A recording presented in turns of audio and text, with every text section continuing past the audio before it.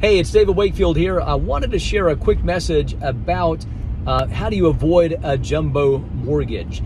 Now, uh, $510,000 was the max limit for Fannie Mae, and then they went to $548,000, and now they've just jumped to $625,000.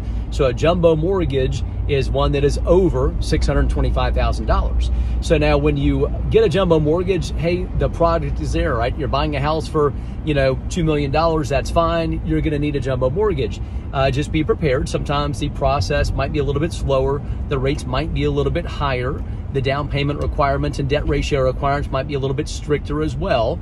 Uh, so, you know, no problem doing jumbos all day long. However, if you're close to that $625,000 number, there might be some ways for us to uh, to make the process a little bit easier in lots of aspects. Now, why might we want to make that a little bit easier? Why might we want to go to a traditional agency product, a Fannie Mae, Freddie Mac type loan? Well, uh, perhaps credit is one thing. A lot of times on jumbo financing, they're so stringent on past credit situations.